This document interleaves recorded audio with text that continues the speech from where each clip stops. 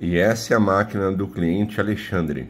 Essa máquina é composta por um gabinete Pichal com três fãs frontais de 120 mm Blue, três fãs, de, perdão, uma fã traseira de 120 mm EA e duas fãs na parte de baixo de 120 mm da EA também.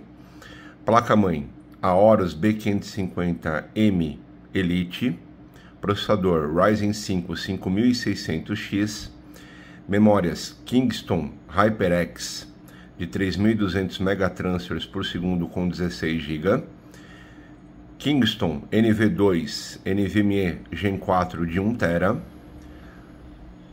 GPU Gigabyte RX 6600 de 8 GB e fonte da Corsair de 650 watts com um watercooler Pichal de 240 milímetros. E vamos ao teste do AIDA Extreme.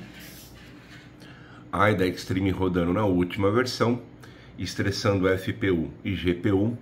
Data e horário de hoje, a hora que começou o teste, estressando a máquina mais de 12 minutos, carga de todo o computador em 100% e o processador não passou de 70 graus.